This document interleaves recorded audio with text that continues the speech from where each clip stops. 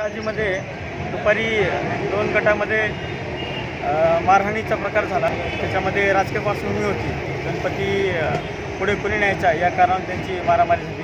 त्याच्यामध्ये दोन्ही गटांकडून फिर्यादी घेऊन साधारण पंचवीस पंचवीस लोकांविरुद्ध आपण गुन्हे दाखल करत आहोत. एक गुन्हा दाखल झालेला आहे. आणि दोन्ही गुन्ह्यांमध्ये आपण ज्याप्रमाणे घटना घडली आहे त्याप्रमाणेच कलम लावली आहे आता आरोपींची अटक सुधारता आपण काम सुरू केलेलं आहे.